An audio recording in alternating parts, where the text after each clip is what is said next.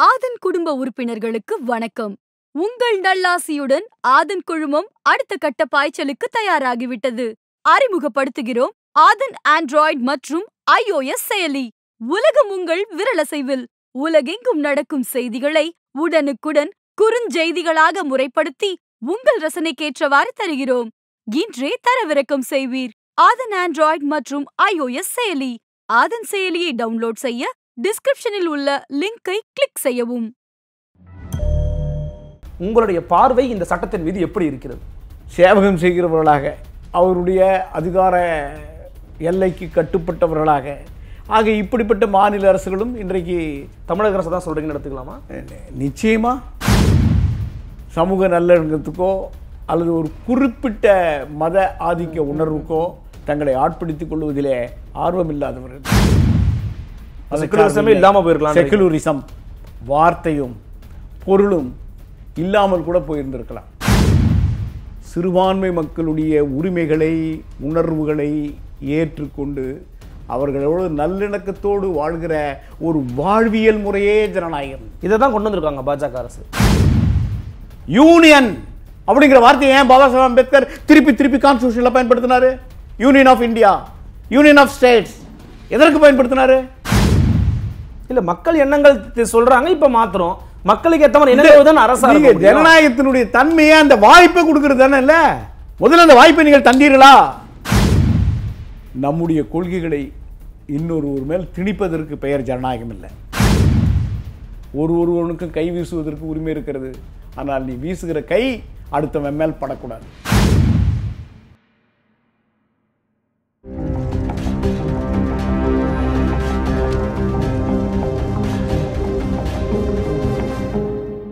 வணக்கம் அன்பு நண்பர்களே. இது உங்கள் ஆதன் தமிழ் வழங்கும் பெரிதினும் பெரிதுகள் நிகழ்ச்சி. நான் உங்கள் அருள்மொழிவர்மன்.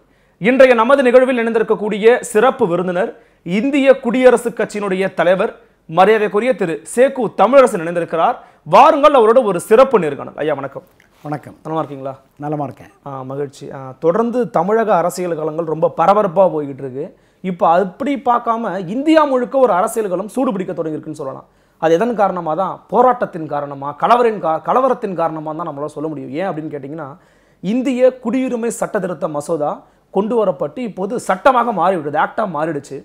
இந்த ஆக்டை பாஸ் பண்ணதை எதிர்த்து தான் வந்து பல இஸ்லாமிய கல்லூரிகள் இருக்கக்கூடிய மாணவர்கள் பொதுமக்கள் வெகுஜன மக்கள் எதிர்கட்சிகள்லாம் போராட ஆரம்பிச்சிருக்கிறாங்க. இந்திய குடியரசுக் கட்சியின் தலைவராக பன்னெடுங்காலமாக தமிழக அரசில் களப்பணியில் இருப்பவராக உங்களுடைய பார்வை இந்த சட்டத்தின் மீது எப்படி இருக்கிறது? இது நாங்கள் எதிர்பார்த்த ஒன்று. பாஜக இப்படிப்பட்ட முயற்சியில் ஈடுபடும் என்றதும் எதிர்பார்த்ததே.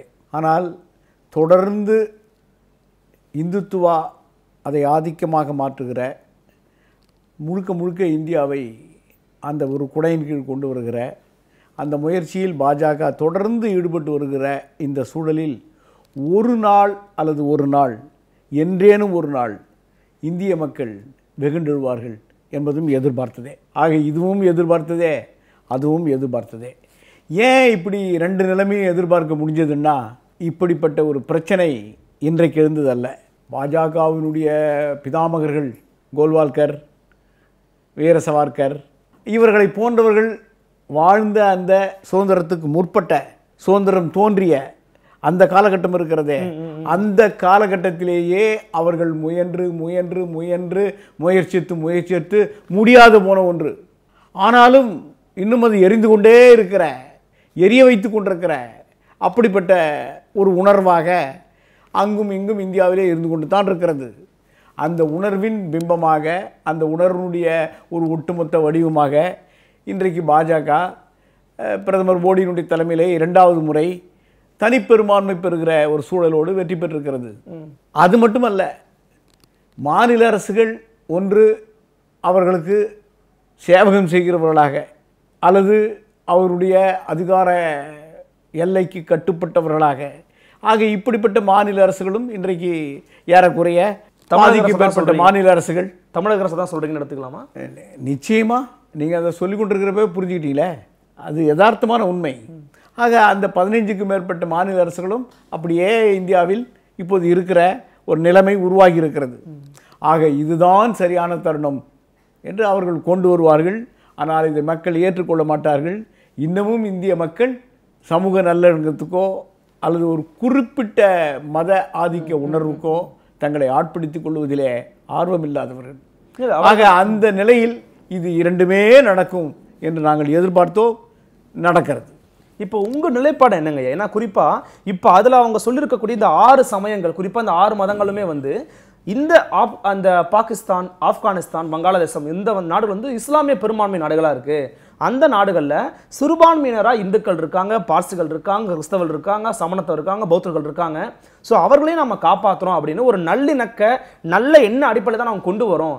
அங்க இஸ்லாமியர்கள் பெரும்பான்மை இருக்கிறதுனால இஸ்லாமியரை சேர்க்கணும்னு ஒரு காரணத்தை முன்வைக்கிறாங்க. நீங்க அந்த காரணத்தை எப்படி பாக்குறீங்க நான் வந்து மேலெழுந்து வாரியாக இப்போ சொன்னேன். நீங்கள் உங்கள் கேள்விக்கு நான் பதில் சொல்லணும். அந்த கேள்விக்கு பதில் சொல்ல வராதுக்கு முன்னையே இந்த நாட்டினுடைய அரசியல் சட்டம் உருவாக்கப்பட்ட கட்டத்திலேயே மதச்சார்பின்மை என்கிற அந்த ஒரு சொல் நம்முடைய அரசியல் சட்டத்திலே இடம்பெற வேண்டுமா? வேண்டாமா? நீண்ட சர்ச்சைகள். வெளியே அரசியல் சட்ட அந்த வரையறை குழு உள்ள வரைய குழு இருக்கிறதே அந்த வரைக்குழுக்கு உள்ளே. ஆக உள்ளேயும் வெளியேயும் ஏகப்பட்ட சர்ச்சைகள் இது இருக்கக்கூடாது. ஏன் மதச்சார்பின்மை என்ற இந்த வார்த்தையில் பொறிக்க வேண்டும்? ஏன் இந்த நாடு மதச்சார்பின்மை நாடாக இருக்கணும்? பெரும்பான்மை மதம் இந்து மதம் தானே. பெரும்பான்மை மதம் இந்த நாட்டுடைய பூர்வீக மதம் இந்த நாட்டில் தொன்று தொட்டு இருந்து கொண்டிருக்கிற மதம் ஆயிரம் ஆண்டு காலமாக கோல வச்சு கொண்டிருக்கிற மதம். அனைவரும் ஏற்று வழிபடுகிற வணங்குகிற பின்பற்றுகிற பெரும்பான்மை மதம். அது அப்படி ஒரு மதம் இருக்கிற போது எதற்காக சில கோடி மக்களுக்காக இந்த மதச்சார்பற்ற என்ற வார்த்தை சேர்க்க வேண்டும். சேர்க்க வேண்டும்? இந்த கேள்வி அப்போதே எழுந்த கேள்வி முப்பதுகளிலே நாற்பதுகளிலே ஐம்பதுகள் வரை. முழுமையாக அரசியல் சட்டம் உருவாக்கப்பட்டு மலர்ந்து அது ஏற்றுக்கொள்ளப்பட்டு நடைமுறைக்கு வருகிற ஐம்பதுகள் வரை இந்த சர்ச்சைகள் முப்பதுகளில் தொடங்கி ஐம்பது இருபது ஆண்டு காலமாக எல்லா வெளிகளிலும் பல வெளிகளிலே அரங்கங்களிலே நிகழ்ந்த சர்ச்சை. பாபாசாப் ஒரு பாபாசால் அம்பேத்கர் இந்த நாட்டினுடைய அரசியல் சட்ட வரைவு குழுவினுடைய தலைவராக இல்லாமல் இருந்திருந்தால் ஒருவேளை இது நடக்காமல் கூட போயிருக்கலாம். Secularism ஏ இல்லாம போயிருக்கலாம் செக்குலரிசம் வார்த்தையும் பொருளும் இல்லாமல் கூட போயிருந்திருக்கலாம். ஆக அன்றைக்கே எழுப்பப்பட்ட இந்த பிரச்சனைக்கு தன்னுடைய அறிவாற்றலால் உலகளாவிய வரலாற்று உணர்வால் சிந்தனையால் அனுபவத்தால் எல்லா வகையிலும் எல்லாரையும் கேள்வி கேட்டவர்கள் எழுந்தவர்கள் இந்த நாட்டில் ஒரு அரசியல் சட்டம் இருக்க வேண்டும் அது அனைத்து மக்களுக்கும் இப்போ நீங்கள் ஒரு சாதாரணமாக இந்தியாவில் பைபிள் ஏற்றுக்கொள்கிறவர்கள் இன்னொரு பிற நூலை ஏற்றுக்கொள்ள மாட்டார்கள். குரானை ஏற்றுக்கொள்கிறவர்கள் இன்னொரு மத நூலை ஏற்றுக்கொள்ள மாட்டார்கள். அப்படியே கிரகங்களை ஏற்றுக்கொள்கிறவர்கள் இன்னொரு நூலை ஏற்றுக்கொள்ள மாட்டார்கள். பகவத்கீதையை பின்பற்றுவர்கள் மற்றவர்களை பின்பற்ற பகவத்கீதையை பின்பற்றுபவர்களானாலும் பைபிளை பின்பற்றுபவர்களானாலும் அது கிரகங்களை ஏற்றுக்கொண்டவர்களானாலும் குரானை வழிபடுகிறவர்களானாலும் எல்லோரும் ஏற்றுக்கொள்ளுகிற நம்பிக்கை கொள்ளுகிற அது ஏற்றுக்கொள்ளக்கூடியது அதுதான் நமக்கு பாதுகாப்பானது என்கிற உணர்வை முழுக்க முழுக்க ஏற்படுத்துகிற ஒரே ஒரு நூல். அது மத நூல் அல்ல இந்த நாட்டின் அரசியல் சட்டம். இந்திய அரசியலமைப்பு சட்டம்.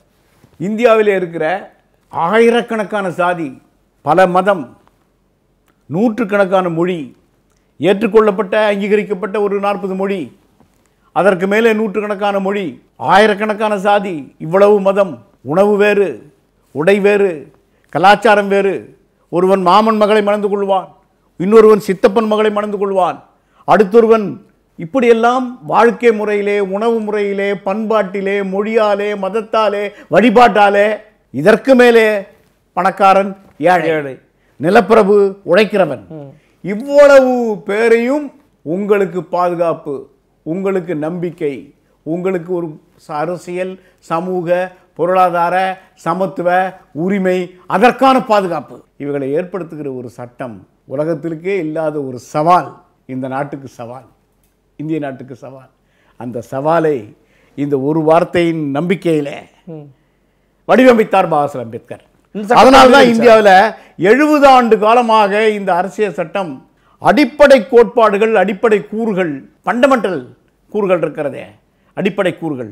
அந்த கூறுகள் மாற்றப்படாமல் இன்னமும் உலகத்தில் ஒரு அரசியல் சட்டம் இருக்கிறது என்றால் இந்தியாவின் சட்டம் அது இந்தியாவுடைய அரசியல் சட்டம். அதை மீறி இதுல.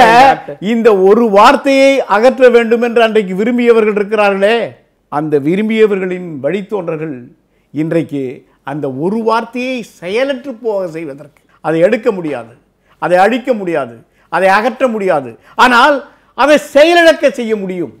செக்குலரிசத்தை செக்குலரிஸ்ட் Okay. அதை செயலிழக்க வைக்கிற ஒரு சிந்தனை அதற்கான ஒரு யுக்தி அதற்கான ஒரு வேலை திட்டம் அந்த அடிப்படையில் இப்போதும் இந்த பிரச்சனை எழுகிறது. அவங்க இல்லைங்கிறாங்க சார். அவங்க அப்படி இல்ல. இந்தியாவின் அரசியலமைப்பு நம்ம காக்குறோம். அவங்க என்ன காரணம் சொல்றாங்க அப்படின்னா உதாரணத்துக்கு உங்களை போன்றவர்கள் குறிப்பிடக்கூடிய விஷயம் என்ன அப்படின்னா மியான்மர்ல இருந்து இஸ்லாமியர்களை ஏன் சேர்க்க மாட்டேங்கன்னு ஒரு வினாவை எழுப்புறீங்க.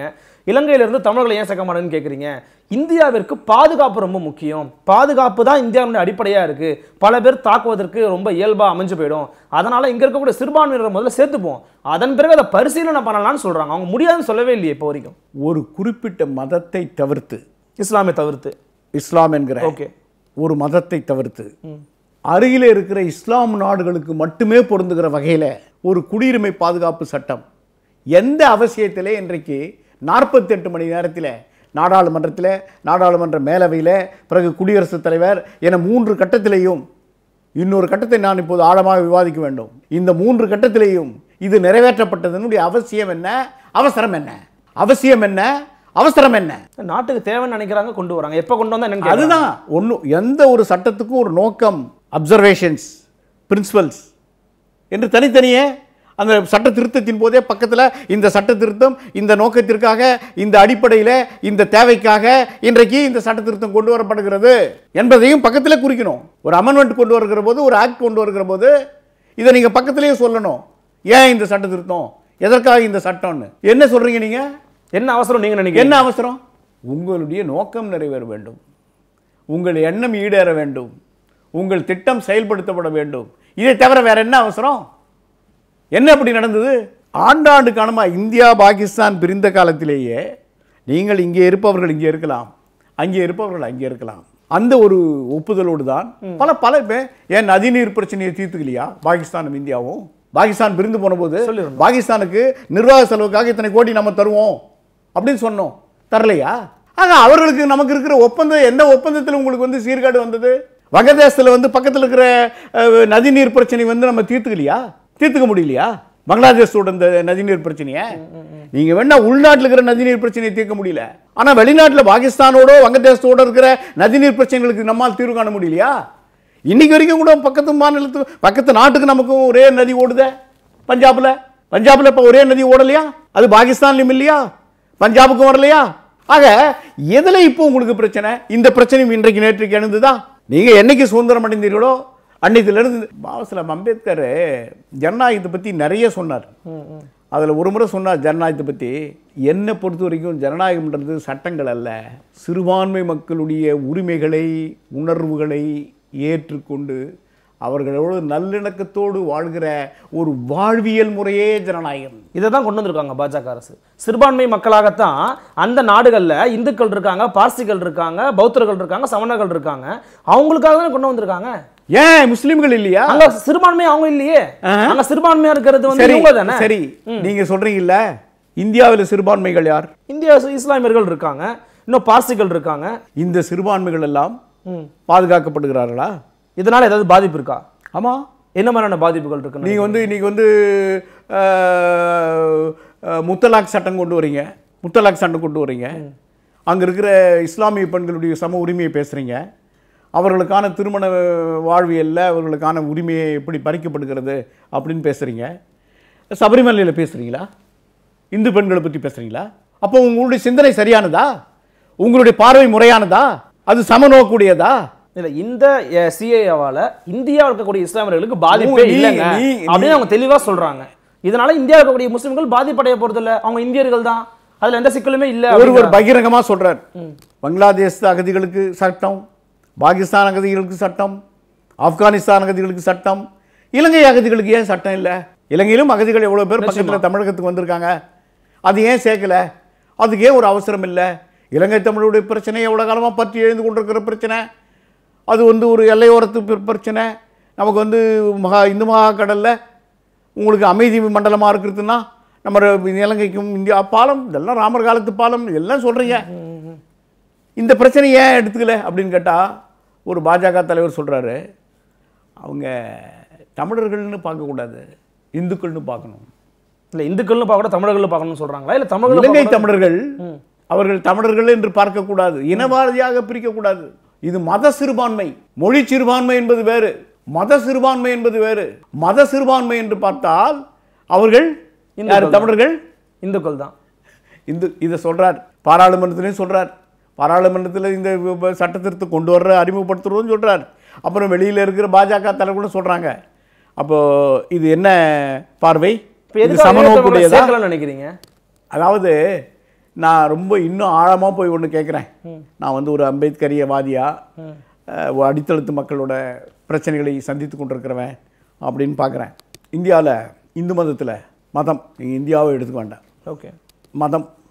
இந்த மதத்தில் யார் பெரும்பான்மை? இந்த ம- இந்து மதத்துக்குள்ள யார் பெரும்பான்மைன்னு கேக்குறீங்களா? சாதி அடிப்படையில் சமூக அடிப்படையில் கேக்குறீங்களா நீங்க? ஆ நீங்கள் புரிஞ்சுக்கிட்டீங்க. நான் சொல்லலை. நீங்களே சொல்லுங்கள் யார் பெரும்பான்மை? பிற்படுத்தப்பட்ட மக்கள் தான் பெரும்பான்மையா இருக்காங்க. பிற்படுத்தப்பட்ட மிகவும் பிற்படுத்தப்பட்ட ஒடுக்கப்பட்ட மக்கள் பெரும்பான்மையா இருக்காங்க. தனித்தனியாகவே எடுங்க. நீங்கள் ஒட்டுமொத்தமாக சொல்கிறீங்க இன்னும் ஆழமாக போங்க. தனித்தனியாகவே எடுங்க.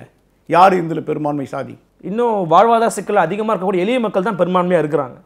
ஒடுக்கப்பட்ட மக்கள் தான் பெரும்பான்மையா நேரடியாகவே இருக்காங்க. ம். இந்து மதத்துக்குள் யார் பெரும்பான்மை? தனி பெரும்பான்மை அப்படின்னா தலித்துகள் தான். இல்லையா. அதுதானே? நீங்களே சொல்லுகிற அவருடைய உரிமைகள் எல்லாம் கிடைச்சிருச்சா? எத்தனை கோயில் இன்னைக்கு இன்னும் கோயில் மறுப்பு இருக்குது தெரியுமா? எவ்வளவு சாதி ஆணவ கொலைகள் நடக்குது தெரியுமா? ஒரு மாநிலத்தில் திருமண விழாவுக்கு குதிரை மேலே ஏறி போகிறான் ஒருத்தன். அவன் சொந்தமாக வாடகை கொடுத்து குதிரை வாங்கிட்டு வந்து ஒரு மாப்பிள்ளை அழைப்புக்கு மாப்பிள்ளை ஊர்வலத்துக்கு குதிரை மேலே போகிறான் குதிரையிலிருந்து தண்ணி கீழே தள்ளி கொல்லப்பட்டான் ஒரு மாப்பிள்ளை. சமூகத்தின் என்ன? காரணமா? உனக்கு என்னடா குதிரை மேலே மாப்பிள்ளை அழைப்பு? எவ்வளோ கொடுமை? இதுக்கெல்லாம் என்ன பிரச்சனைகளுக்கு தீர்வு கண்டிருக்கீங்க இல்ல இதெல்லாம் நம்ம கண்டிப்பா எதிர்க்கிறோம் இல்லையா? இதை நம்ம யாருமே ஆதரிக்கல. என்ன என்ன? உங்களுடைய சட்டம் என்ன? உங்களுடைய நடவடிக்கை என்ன? உங்களுடைய செயல்பாடு என்ன? உங்க திட்டம் என்ன? இதற்கான பரிகாரம் என்ன?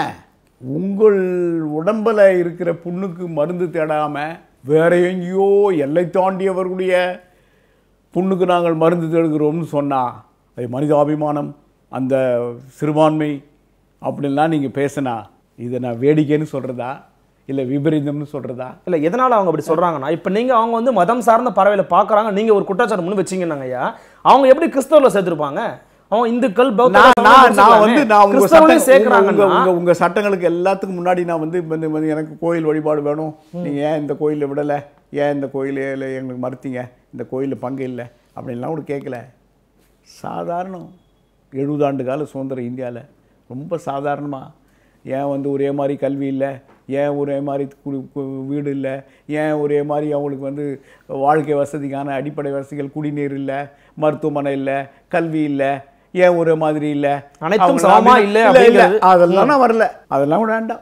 வறுமை நாடுன்னுவீங்க எல்லாம் சொல்லுவீங்க. இல்ல அதுக்காக எல்லாரும் நான் வரல நான் வரல. ஓகே நான் கேட்குறேன் இந்தியாவில் ஒரே பொது சுடுகாடு கொண்டு வர முடியுமா? ஒரு மதத்துக்கு. நீங்களே கொஞ்ச நாளுக்கு முன்னாடி ஒரு டியூப்ல பார்த்தீங்களே சென்னை நீதிமன்றம் உயர் நீதிமன்றம் தானாகவே அந்த வழக்கு எடுத்துக்கிச்சே. மேலே ஒரு பெரிய மேம்பாலத்திலிருந்து ஒரு பணத்தை கட்டி கயிறு கட்டி இறக்குனதை பார்த்துருப்பீங்களே? வழி இல்லாம. எங்க நடந்தது? இந்தியாவில் தான் நடந்தது. ஒரு பொது சுடுகாடு இருக்கிறதா? எழுபது ஆண்டு கால சுதந்திர இந்தியாவில். ஒரு பொது சுடுகாட்டை உருவாக்க முடியவில்லையே. அது வேணாம் பொது சுடுகாடு எல்லா மதத்துக்கு கூட வேணாம். அது இஸ்லாமியர்களுக்கு கிறிஸ்தவர்களுக்கு அவங்களுடைய வழிபாடு முறைகள்லாம் வேறவா இருக்கலாம் பார்சிகளுக்கு பார்சிகளுடைய அவங்க வந்து சுடுகாடே அவசியம் இல்லை. பார்சிகளுக்கு இல்லை ஜெயினர்களுக்கு இதெல்லாம் நான் கேட்கல. ஒரு தனித்தனி மதத்துக்கு.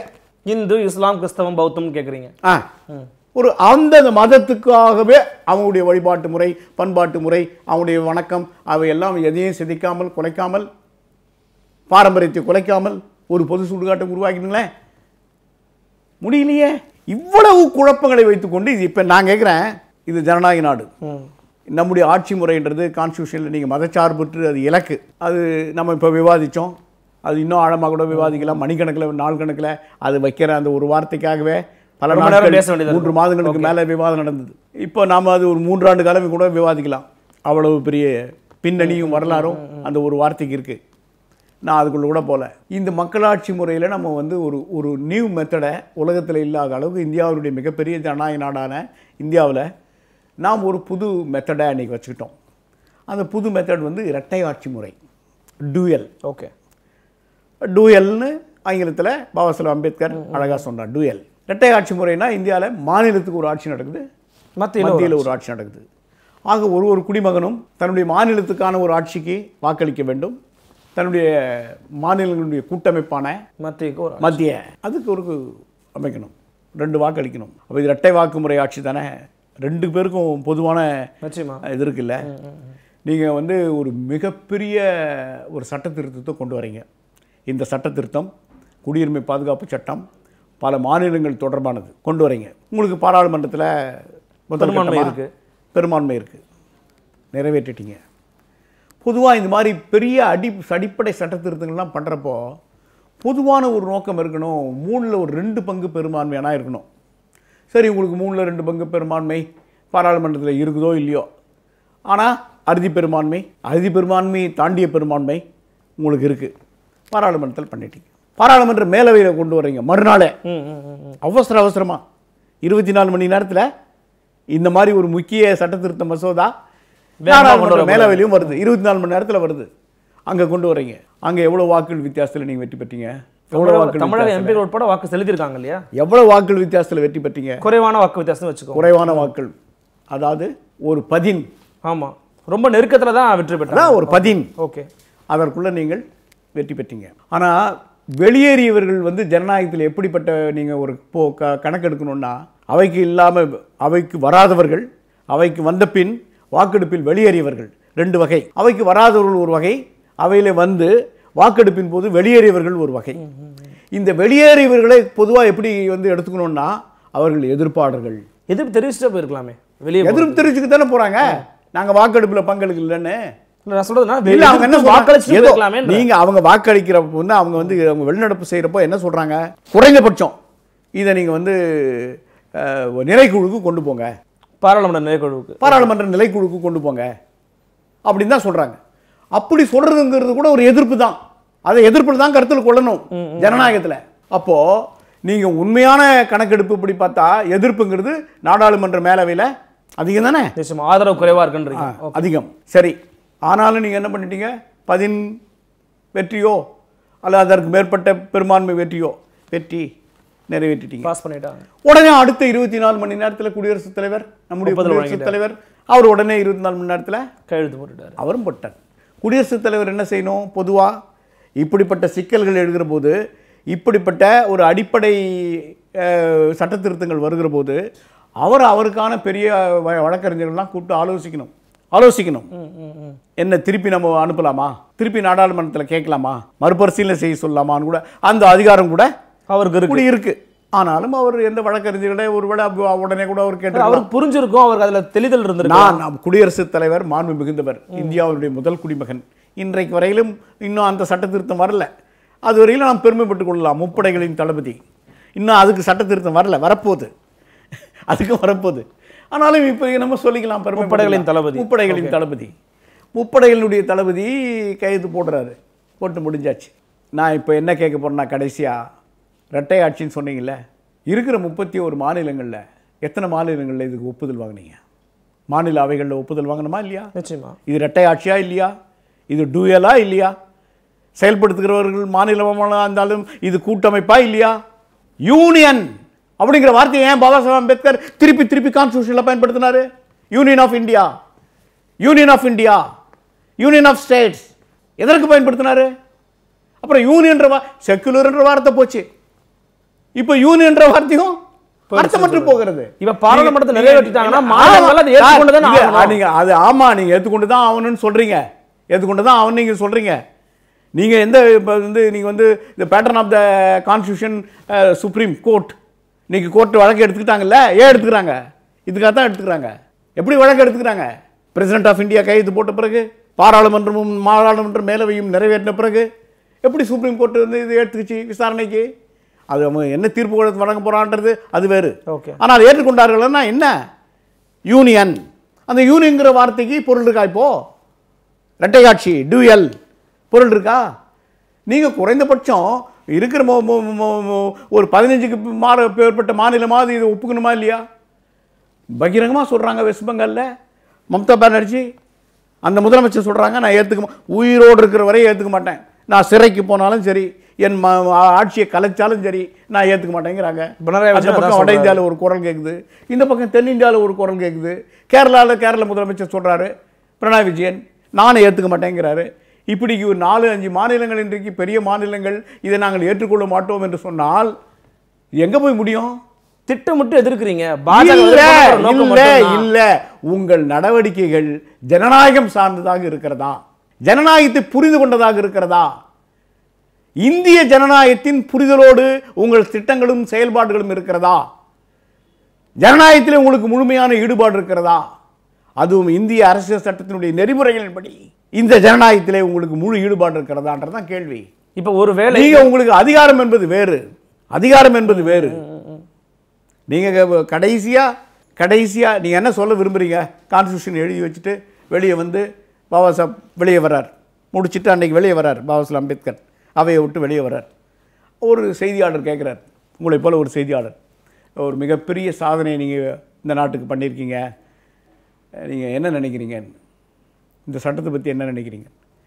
எவ்வளவு சிரமப்பட்டு உருவாக்கியிருக்குமோ உருவாக்கியிருக்கேன்.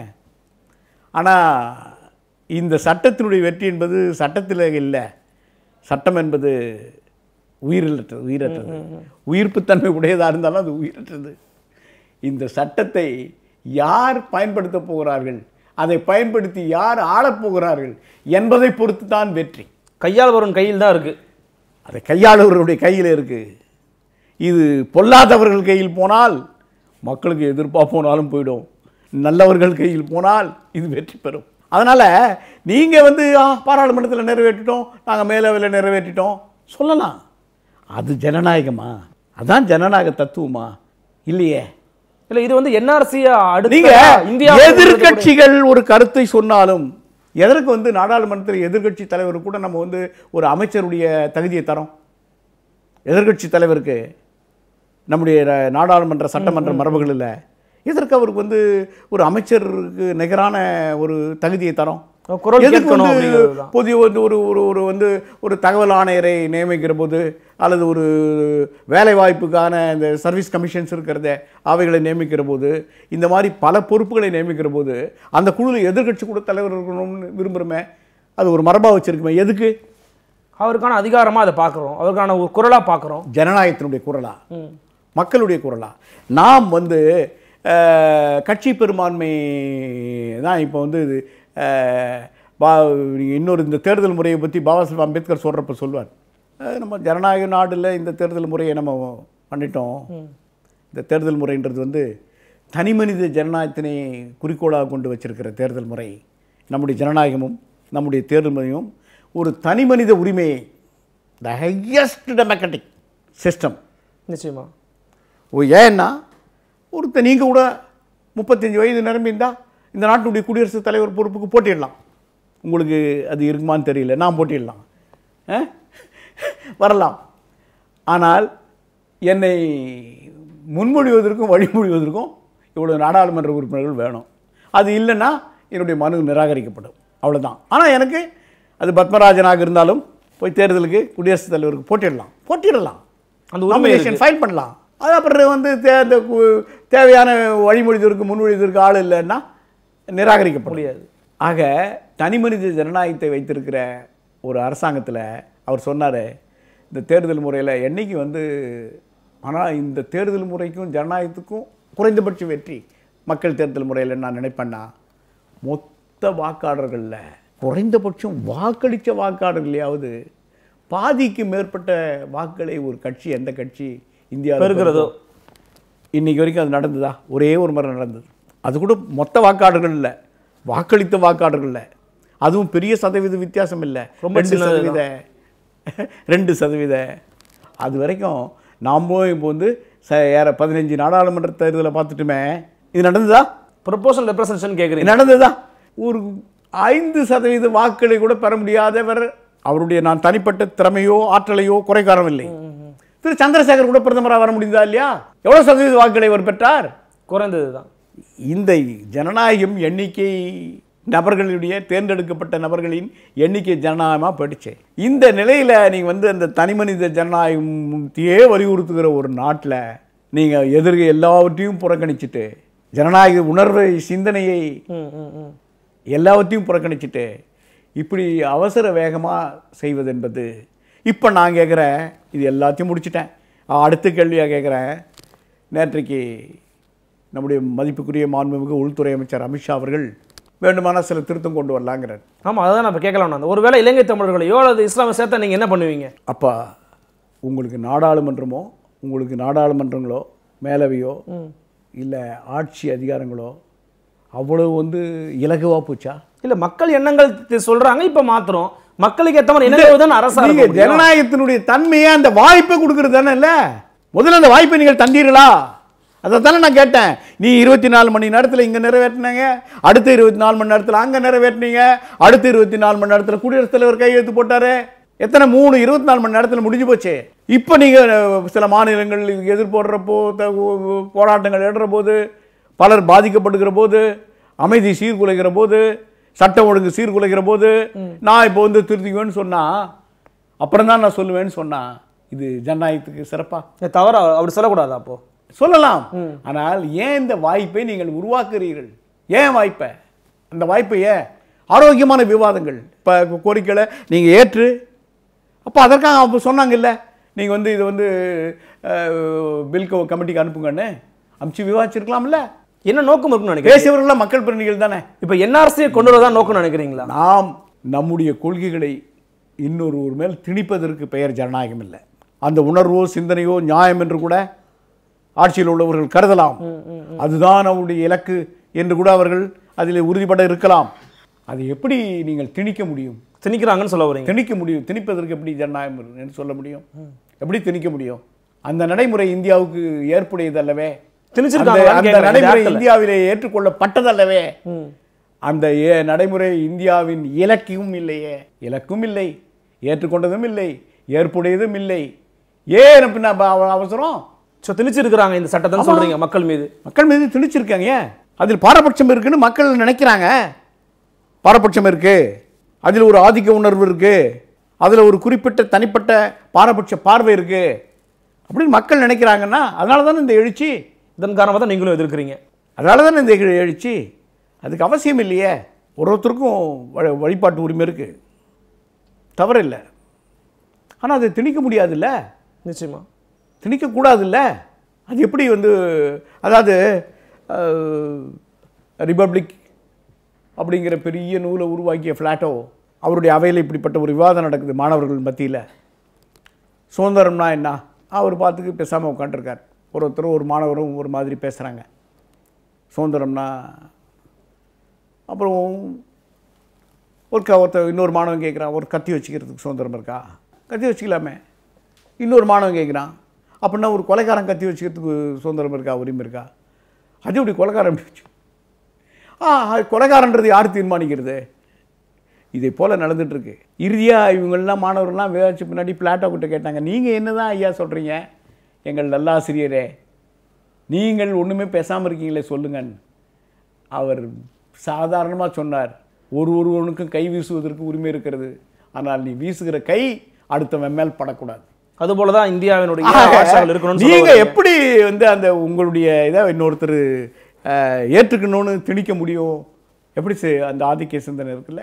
அது அதுதான். இந்தியா மதச்சார்பிற்கு ஒரு அடி விழுந்தது போல உணர்றீங்க. மதச்சார்பின்மைக்கு சவால்.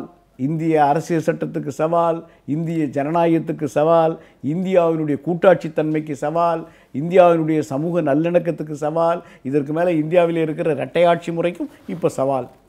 நிச்சயமா இங்க தொடர்ந்து இந்த இந்திய குடியுரிமை சட்டத்தை எதிர்த்து உங்களுடைய கருத்துக்களை பதிவு பண்ணிருக்கீங்க. மக்கள் கண்டிப்பா இதை பார்ப்பாங்க நம்புறோம். எங்களோட அரங்கத்துக்கு வந்து உங்களுடைய கருத்துக்களையும் வருகையும் பதிவு செய்தமைக்கு மிக்க நன்றி. நன்றி. நன்றி நண்பர்களே மீண்டும் ஒரு பெரிதினும் பெருதிகள் நிகழ்ச்சியில் மற்றும் ஒரு ஆளுவோடு உங்களை சந்திக்கிறேன். அதுவரை உங்களிடமிருந்து விடைபெறுவது உங்கள் அருள்மொழிவர்மன். இணைந்திருங்கள் இது உங்கள் ஆதன் தமிழ்.